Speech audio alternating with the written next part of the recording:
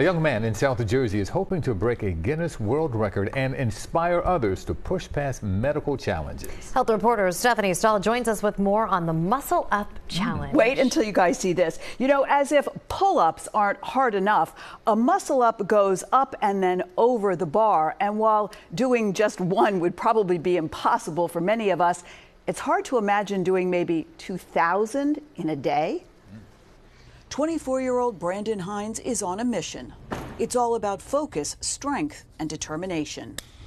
He's training to break the world record for the most muscle ups completed in 24 hours. To be able to break that record, I think, would be something that I think is maximally inspiring to people. Especially considering Brandon, who lives in South Jersey, is a heart patient. I had experienced cardiac arrest twice um, by the time I turned three. He has prolonged QT syndrome, a genetic condition that impacts the heart's electrical rhythm, treated over the years with surgeries and implanted devices. I uh, started speaking for the American Heart Association when I was eight years old. His message anything is possible, even attempting to do what might seem impossible. The current world record for muscle ups is 1,300 in 24 hours. I'm hoping to hit minimum 1,500, um, but the goal is 2,000.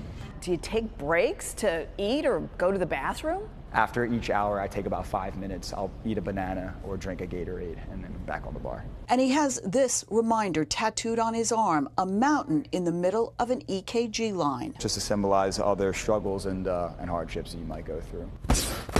Kicking and punching away hardships with his all around training. Um, these are uh, called Zottman curls. These are really good for your elbows. Brandon says now that he's cleared by doctors, he's able to supercharge his workout while also working for a charity to help underprivileged students, aiming to prove the value of hard work and dedication.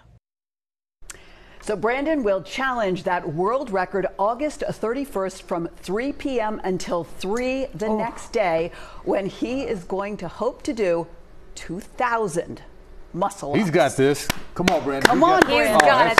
That's great. amazing. Yes, Can you imagine? Just no. attempt it is a fantastic. No, I know. That's a great so story. he's going to do it. Great yeah. story. God bless him. Uh-huh. All right. Thanks, Steph. Appreciate uh-huh. it.